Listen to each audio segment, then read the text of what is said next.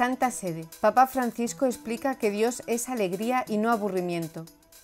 Antes de rezar la oración del Ángelus de este 15 de agosto, solemnidad de la Asunción de la Virgen María a los cielos, fiesta en el Vaticano y en muchos países del mundo, el Santo Padre hizo la siguiente reflexión. Dios es alegría, no aburrimiento. Dejémonos llevar por la mano de la Virgen. Cada vez que tomamos el rosario en la mano y rezamos con él, damos un paso hacia la gran meta de la vida. En esta ocasión, y en primer lugar, el Papa Francisco reflexionó en la narración bíblica del Evangelio de San Lucas que corresponde a la solemnidad de la Asunción de María Santísima, la Virgen Santa, en la que la Madre de Jesucristo reza diciendo, Mi alma engrandece al Señor y mi espíritu se alegra en mi Dios, mi Salvador.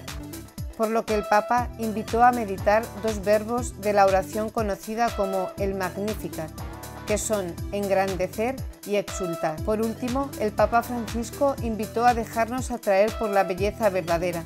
No nos dejemos atrapar por la pequeñez de la vida, sino elijamos la grandeza del cielo que la Santísima Virgen, puerta del cielo, nos ayude a mirar con confianza y alegría allí todos los días, donde está nuestro verdadero hogar.